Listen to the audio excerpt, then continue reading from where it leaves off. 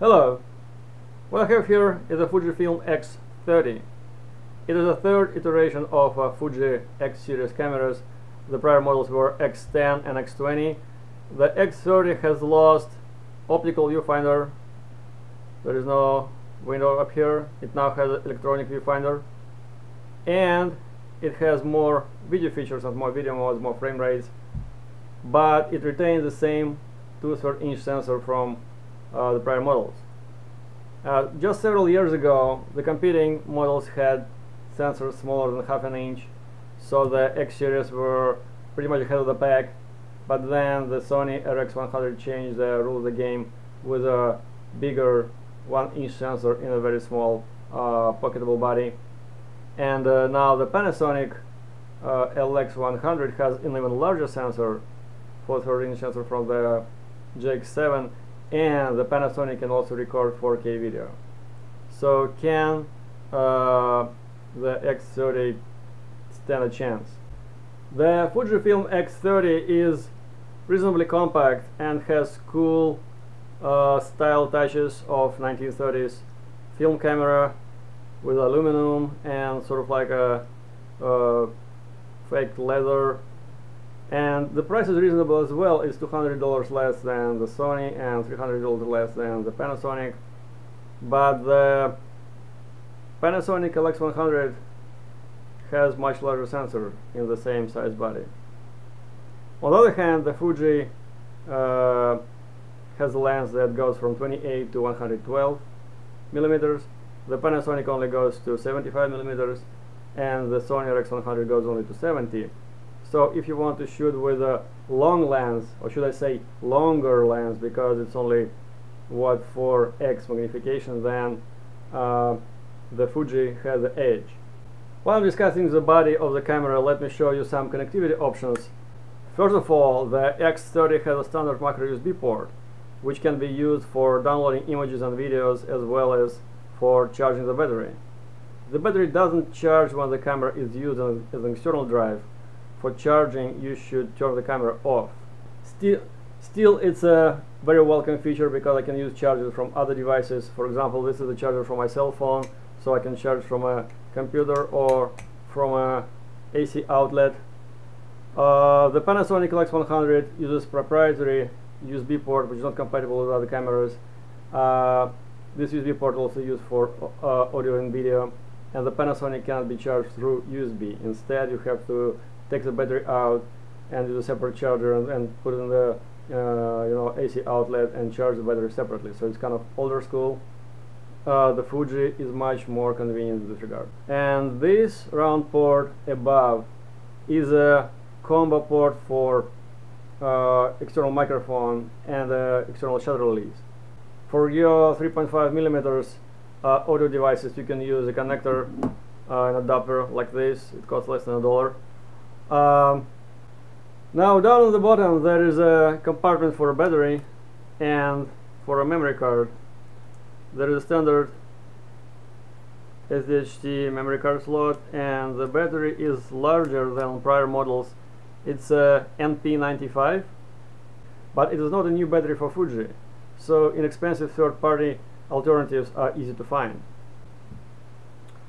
Of course there's a tripod mount uh, on the bottom made out of metal uh, but unfortunately there is no hole for locking pin.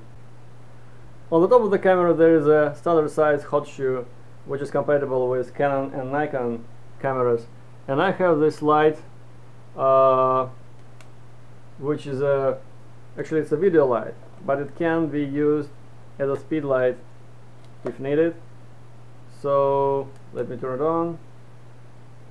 Switch to speedlight mode and let's take a picture. The X30 has built-in flash right here. It is not automatic. Uh, to engage it you need to pull this lever and it comes up push it, goes back down. Uh, but when you're using like with your left hand and you have your finger on the you know on top of the camera the flash kind of goes down a little bit which in my opinion mars the impression from otherwise kind of sturdy, well-built metal body of the camera. On the other hand, the LX100 has no built-in flash, but it comes uh, with a bundled small flash that you can uh, attach to a hot shoe. So as I said in the beginning, the X30 doesn't have optical viewfinder anymore, it has electronic viewfinder right over here, and it also has a large uh, LCD screen which is articulating. It goes up and down like this, but it doesn't come up sideways. So sorry, selfie lovers, you cannot make a selfie with this one. At least it won't be as convenient as uh, with other cameras that has the screen you know hinged on the side. The focus area is selectable with buttons and can be changed before making a shot, but you cannot change it uh, using the screen because the screen is not touch sensitive. So no spot focus and no uh, kind of touch rec focus when you're making a video. Uh, focal length is adjusted manually, just rotate the barrel and some people think it's a major feature of this camera, they just like this mechanical linkage between the ring and the lens. Uh, the camera tries to maintain focus while you're changing the focal length, but uh, obviously the lens is not kind of physically made for keeping the focus, what's called a, a parafocal lens, right? Uh, this doesn't matter for stills, but uh, makes zooming, especially fast zooming, unusable while shooting video. So basically zoom is not usable for video mode in this camera. There is no built-in neutral density filter which has become common for video cameras, even for inexpensive uh, consumer cameras. It is possible to screw on a filter on this camera. It has threads, but Fuji doesn't specify uh, which uh, side of the thread it is. Instead, it, it sells a kit which consists of a uh, step-up ring, hood, and a filter, and the whole the whole kit uh, is sold on Amazon for about sixty dollars. Instead, I just went on eBay and bought this third-party uh, kit, which doesn't include a filter, but it does include the cover. So I have cover, I have hood, and the hood is comes off just like on the uh, original Fuji hood so you can take it off and here you have 52 millimeter lens that you can use for your other filters or I for example use it for uh,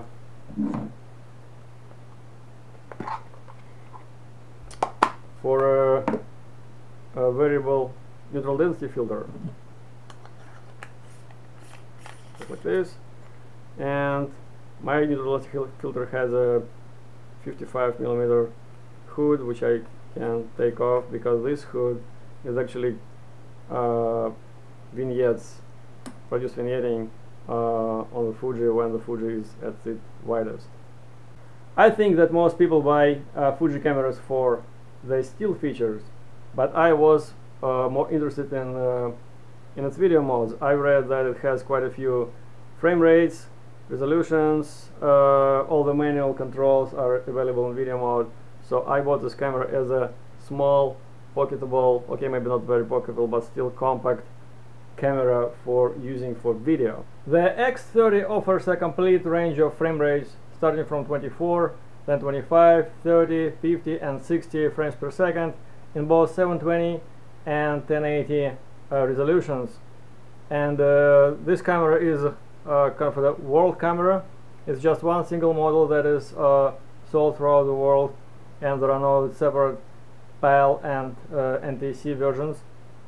Uh, and all the frame rates are listed in a single menu. So you can select resolutions and frame rates just from a single menu, you don't have to switch between PAL and NTSC. Uh, whereas the Panasonic LX100 on the other hand is region locked and there are different models for uh, Europe and uh, America and in Europe you have uh, 25 and 50 but you also can have 24 and in America you have 24 30 and 60 frames per second. So uh, the LX 100 is more limited in this regard. Both autofocus and manual focus are available when shooting video. This dial switches between manual focus and a couple of automatic modes. And this button on the back allows you to use autofocus or auto exposure or both of them when you're shooting in manual focus modes. Video is stored in QuickTime files with MOV extension with about uh, 36 megabits per second for 1080 files, 1080 clips, and about 18 megabits per second for 720. And I think that the bitrate itself is uh, uh, quite sensible. Uh, I would like to say that this camera doesn't have dedicated video mode. You may say, what's the problem? Isn't it convenient using the same settings for video and stills? Maybe it is if you shoot your stills with a 16 by 9 aspect ratio. But even if you do, with the X30 you have to select ISO value separately for stills and video, which is crazy because uh, other exposure parameters are common for both modes. The quick menu helps, you can put both ISO values for video and uh, for stills and video side by side and kind of change them synchronously so whatever you see uh, on screen will look exactly the same when you start recording video but still it's not a perfect solution. I would prefer uh, to have two completely separate settings for still and video. It just makes everything much easier. Now I would like to talk about the manual controls on top of the camera. There are two pretty aluminum dials. I think they're machined.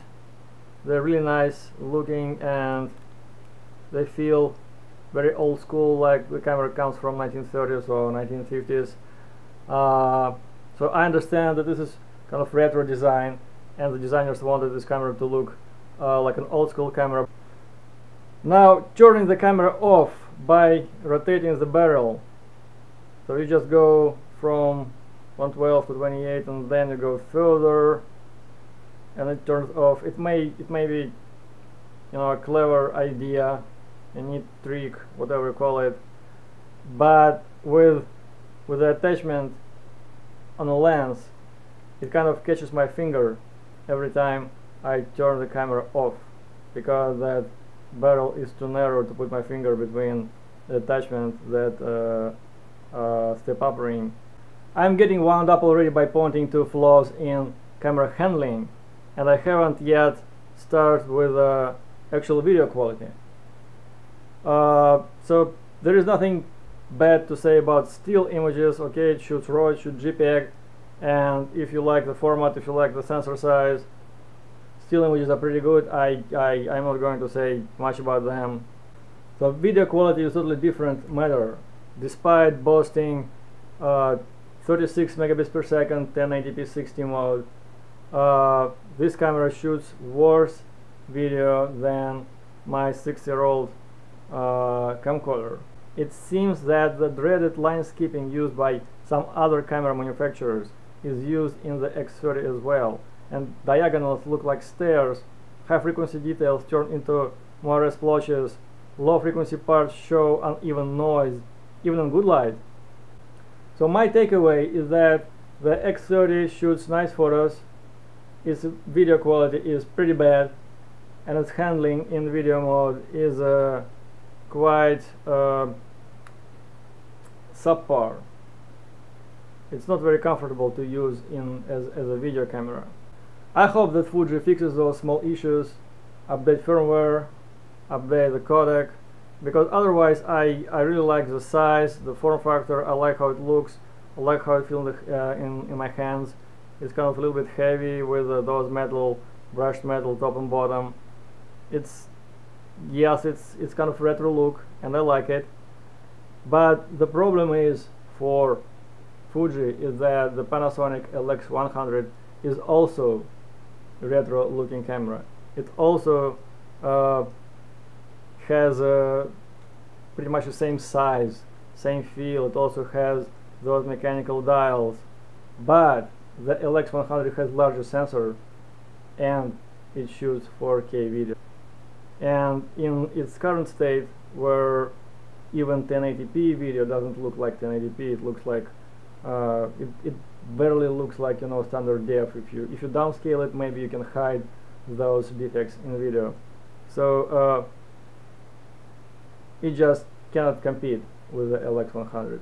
If you are in still photos if you are a still photographer and maybe occasionally you want to record some quick video then the X30 may work for you and it's cheaper than the Panasonic. But if you want to shoot videos with a uh, kind of like still like camera this is not the camera for you